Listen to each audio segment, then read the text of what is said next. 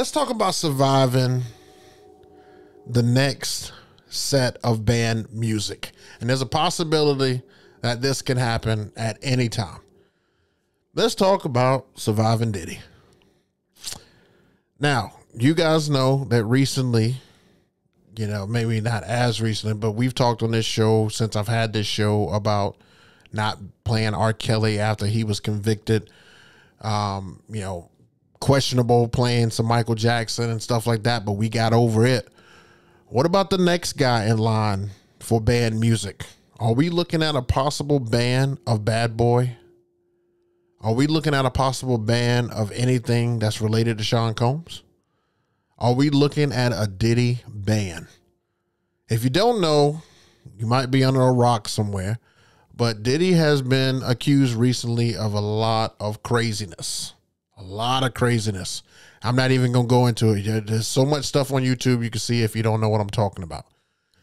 But it it posed the question to me like as these artists start to do some of this crazy stuff or stuff starts to come out from the shadows of stuff that they've been doing that we've had no idea that they do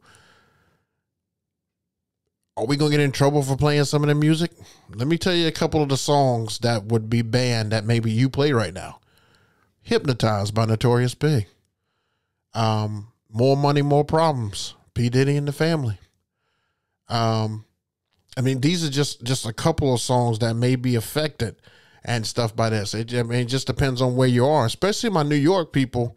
When you're playing in a club or playing, in, I mean, most people don't care, but some people may say, "Don't," you know, they're boycotting his music.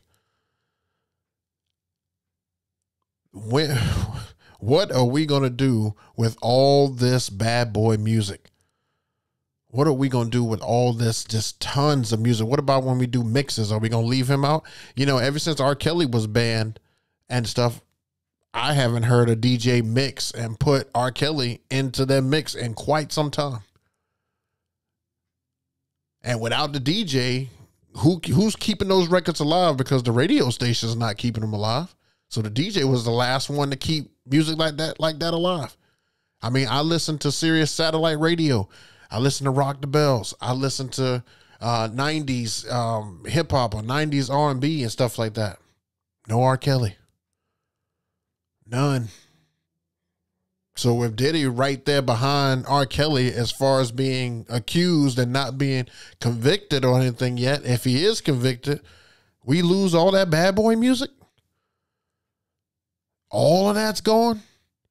Because one thing I could tell you is if it's out of sight, it's definitely out of your mind. The reason that we take music and play it as stuff as DJs is because we usually hear it somewhere. We're in a store and something reminds us of it. Somebody singing it, something. But if there's not something that constantly reminds you of it, it goes on the back burner. You lose years and years and years of music when these guys mess up the way that they do. And so I asked the question. This is just me asking the question. This has nothing to do with anybody else. But if Diddy is convicted of anything, if he goes down for any of this stuff, are you banning Diddy from your playlist? Are you taking him out of your rotation? And this goes for club DJs, this goes for mobile DJs, this goes for radio DJs because I already know that radio is definitely they they're definitely pulling the plug on him. If if if he's convicted, the radios I'm, I'm I'm probably sure they're already pulling the plug on him. But this could be this is this is a strong possibility that this could happen. Very strong. These accusations are not not something that's like hearsay. I mean, there are people coming out constantly. You know, every, every time I look around, there's something new and stuff that week. But he's all over my news feeds, and I don't even research him. I don't even I don't even look up anything. Diddy? Nothing. But he's all over my news feeds because I, I watch a lot of stuff that has to do with hip hop and the state of hip hop and the Breakfast Club and all that stuff. So anything related to kind of like news and stuff like that, if they're talking about him, they throw him on there. So I'm just curious. You guys still playing Diddy if it goes down that way? If it goes left, you guys still playing them? Me personally, I get a little nervous. I mean, I, I know we're all a little nervous and stuff to play R. Kelly right now. I get a little nervous. Probably playing uh probably playing some anything Diddy or well, not really Biggie, but more like Diddy. Anything like more money, more problems may have to take a step back. It may have to take a step back. And like, you know, when somebody requests ignition, I'm always it's almost like a cringe now. I don't it's almost like second nature cringe.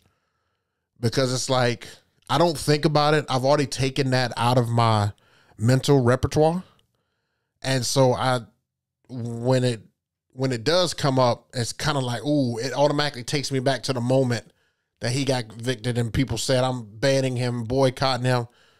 And I'm just like, ooh, maybe I shouldn't. It's almost like WAP all the time, you know, and nobody wants to play WAP at an event because it's so raunchy. But it's it's almost like that type of feeling, that that type of cringe.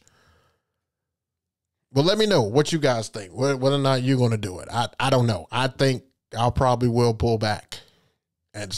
It'll just be something natural. You know, nobody usually asks me for that. I just kind of put it in the mix because I, I feel like it flows with what I'm doing as far as a set. I mean, the video that I um that I just edited and stuff today, you know, one of the songs, of course, was More Money, More Problems because I was in kind of a 90s uh, set and stuff, like, you know, and it just flowed nicely and stuff with that. So that just kind of takes him out of rotation. I hate to I hate to say it, but it kind of does. So let me know in the chat and stuff what you guys think, and whether or not you would you would be banning this music or just denying or taking it out of your rotations.